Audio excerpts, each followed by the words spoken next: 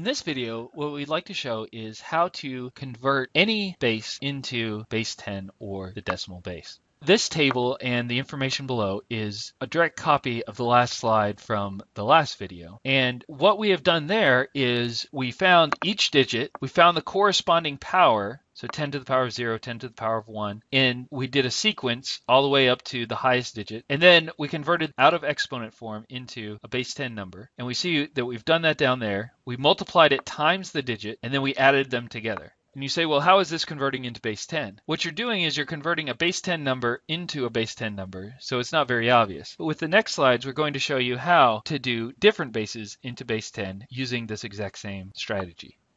So we see in this slide a very similar table to the last table, except for this number right here is not in base 10, it is 3214 in base 5. We have a sequence of numbers going from 0 all the way to 3, but we are no longer in base 10. We want to use the base that we're in, and that is base 5. So we have 5 to the power of 0, 1, 2, and then 3. And the place values are also different. This first one right here is the same, the ones place, but once we move out of the ones place, the rest of them are going to be different. The next one right here is 5 to the first, which is the 5s place instead of the 10s place. This is 5 to the second, the 25th spot instead of the hundreds, and the 125s instead of the thousands. So let's see how this works with the math down here. We take the number, just like we did in the previous slide, and we multiply it times the base to the power. Now, it's easier to start from this end and go forward as opposed to starting from this end as to get the exponent right. So we have 5 to the power of 0 times the digit. So 5 to the power of 0 times the digit, 5 to the power of 1 times the digit, which is 1, 5 to the power of 2 times the digit, which is 2, and then 5 to the power of 3 times the digit in that place, which is 3. And then what we do is we're going to move these out of exponent form and move them into base 10. Notice these are not base 5 numbers. 125 would not exist in base 5 because the highest number in base 5 is a 4.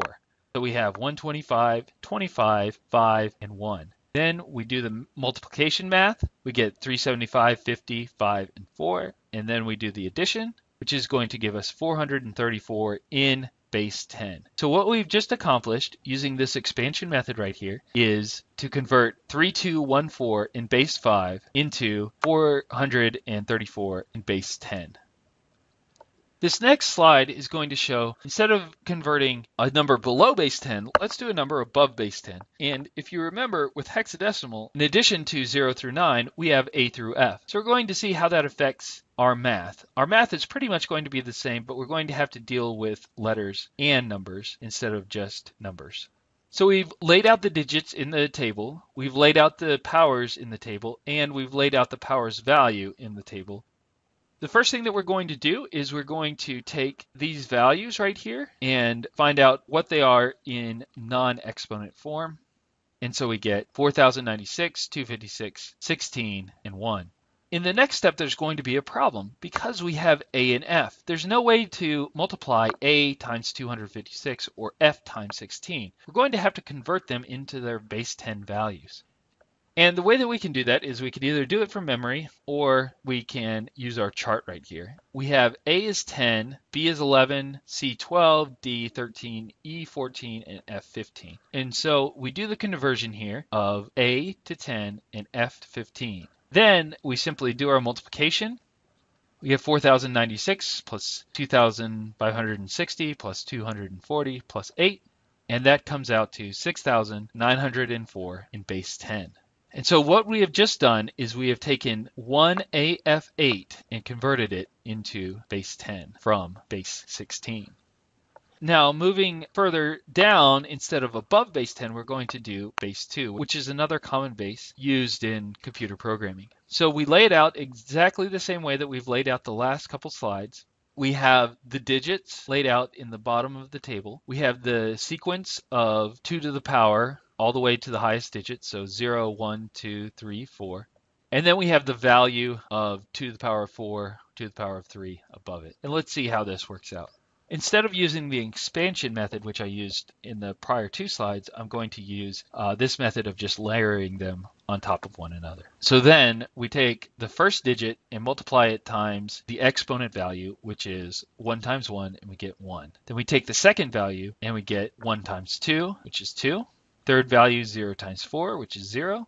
0 times 8, which is also 0. And 1 times 16, which is 16.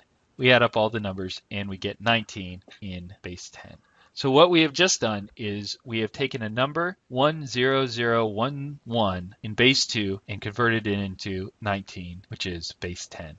There are two methods for converting any base into decimal. They do exactly the same thing, it's just the format is a little bit different. It's important to know which exponent corresponds to which place. And remember that you are going to use the base that you are in as opposed to base 10. So we're going to say 2 to the power of 0 as opposed to 10 to the power of 0.